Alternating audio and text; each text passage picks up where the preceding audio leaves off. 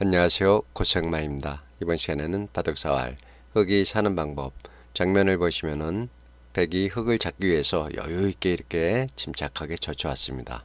상대방이 이렇게 침착하게 젖혀오면 뭐 느낌이 싸하죠? 어 이 사람이 왜 이렇게 침착하게 젖혀오니 젖혀와? 어 꼭 음, 잡았다는 뜻, 뜻으로 이렇게 젖혀왔을 때 아, 기분이 상당히 나쁘죠? 이럴 때 당황하시면 안 됩니다. 상대방이 느긋하게 뒀다고 겁먹을 필요가 없습니다. 어떤 수가 있는지 알아보겠습니다. 여기서 이건 물러나면 안 됩니다. 물러나면은 예, 상대방이 지금 막 속으로 쾌재를 부르죠. 이건 먹여치는 수가 안 되죠. 예, 그렇다고 여기를 묘한 곳을 둔다. 예, 묘한 곳을 두는 것은 예, 안 되죠. 이거는 수도 아닙니다. 이거. 그럼 여기서 어떤 수가 있을까요? 상대방이 느긋하게 뒀다. 그러면은 나도 느긋하게 받아줍니다.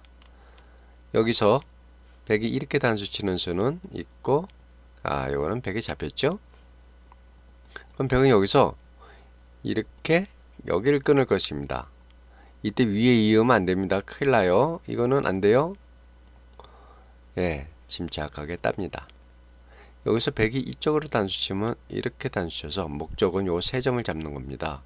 이거 딸 수밖에 없죠. 이렇게 해서 잡으면은 흙이 깔끔하게 삽니다. 그럼 여기서 수순 중에 흙이 땄을 때 이렇게 단수 치면 어떻게 될까요? 어 이거 패가 됐는데 어 이거 패가 됐는데 패 같죠?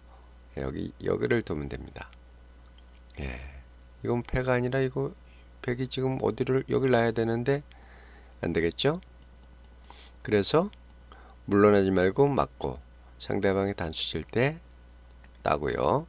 이렇게 두면은 이렇게 두든 어떻게 두든 여기 이어가지고 상대방이 따면은 여기서부터 들어가면 됩니다. 패가 아니에요. 이거 패라고 착각하시면 안 돼요. 이쪽에서 단수 치면 이렇게 나서 이렇게 잡으면 되고요. 그렇죠? 관건은 절대 상대방이 느긋하게 뒀다고 물러나면 큰일 납니다. 과감하게 막아야 되겠습니다.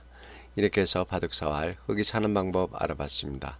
그러면은 다음 시간까지 안녕히 계십시오. 감사합니다.